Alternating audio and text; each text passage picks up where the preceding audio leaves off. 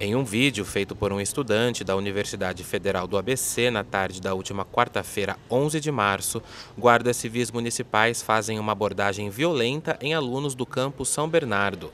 Nas imagens podem ser vistos quatro guardas. Enquanto dois deles conversam com um casal de alunos, os outros dois, no canto esquerdo do vídeo, tentam imobilizar um estudante que está no chão. O autor das imagens aproveita para denunciar a abordagem truculenta por telefone. A Guarda Civil está dando enquadro incorreto num monte de moleque aqui, da, um estudante da Federal. Segundo relatos de outros estudantes, os guardas estavam sem identificação. Além da abordagem, outros oito estudantes foram detidos, porém, seis deles já foram liberados até amanhã desta sexta-feira, 13 de março.